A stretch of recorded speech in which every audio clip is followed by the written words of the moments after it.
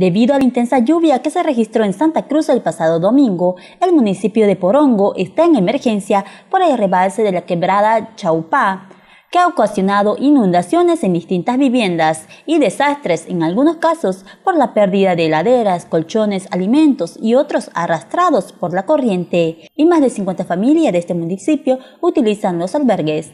Bueno, hemos estado de tempranas horas de la mañana coordinando con todos los diferentes municipios para recibir reportes.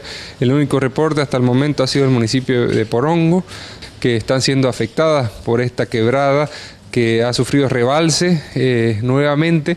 Ya se habían hecho trabajos eh, del municipio en la zona, pero no han sido suficientes, así que como gobierno departamental hemos mandado inspectores del Servicio de Caminos, del CEARPI y el Grupo de Rescate de la Gobernación para que los puedan colaborar eh, a los damnificados y también se puede hacer un trabajo una vez baje el agua inmediato para solucionar este problema y no se vuelva a suceder esto que está sucediendo en Porongo.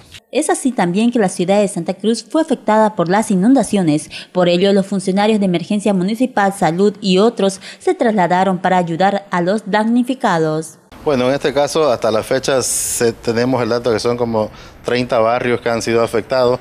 Las familias en sí no tenemos porque aún están trabajando en esos datos específicos.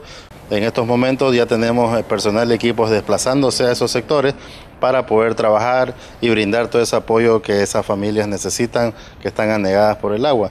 Entonces, ante ello, eh, tenemos el personal eh, capacitado y con el equipo que corresponde para que puedan atender esta situación